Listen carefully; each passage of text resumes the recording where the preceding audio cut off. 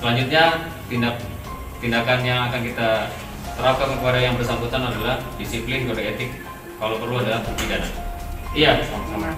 Jadi DR ini adalah pemodal yang secara bersama-sama bekerja sama dengan beberapa orang baru kali ini ya baru kali ini diawali di bulan Agustus kemudian September tiga kali kemudian kali ini yang baru berhasil baru dua hari kemudian terjadi ledakan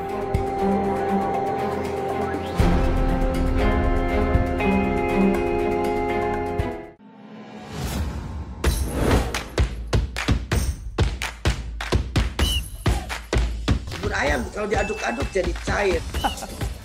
Seriously. Diaduk kayaknya ya.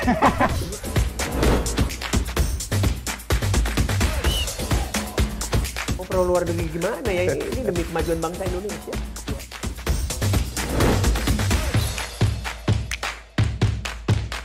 isu kebangkitan eh, PKI ini eh, dihentikan.